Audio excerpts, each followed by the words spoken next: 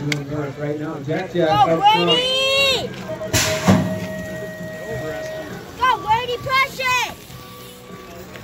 Get over! Coming back at us right now. Looks like Jack is gonna take the win. Zach is gonna take the two. And Gretchen, nice work with the three. For number 19 out there right now, we've got our nine expert class. Man, Brady you're King going up up front. practice. Justin Jacob Lang right there with them, making them work for it. Why don't you go get your stuff? Because I'm not. Coming back at us, can you hang on to it? Everybody's game. King, Lang,